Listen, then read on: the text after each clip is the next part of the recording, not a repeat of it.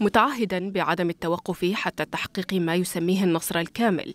تحدث رئيس الوزراء الإسرائيلي بنيامين نتنياهو بمناسبة مرور مئة يوم على الحرب في قطاع غزة التي باتت أقرب ما يكون إلى صراع طويل الأمد بلا نهاية واضحة.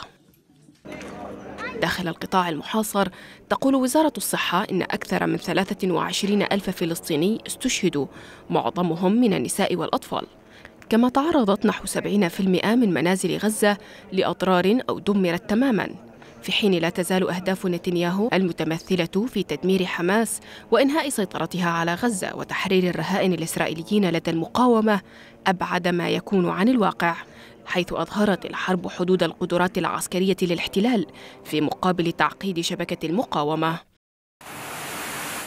وبعيدا عن ساحة المعركة في غزة شنت الولايات المتحدة وحلفاؤها ضربات جديدة ضد أهداف الحوثيين في اليمن ردا على الهجمات في البحر الأحمر التي تسببت في تعطل عمليات الشحن وهزت أسعار السلع الأساسية المرتبطة بتلك التدفقات. في مشهد يؤكد خروج الحرب من القطاع إلى المنطقة وإعطائها تداعيات عالمية.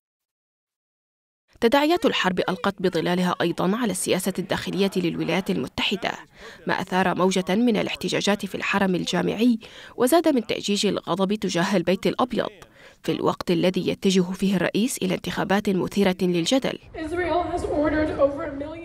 وعادت القضية الفلسطينية التي تجاهلها المجتمع الدولي لسنوات قضية محورية مرة أخرى في الدبلوماسية العالمية على الرغم من أن الطريق إلى حل الدولتين يبدو أكثر صعوبة من أي وقت مضى.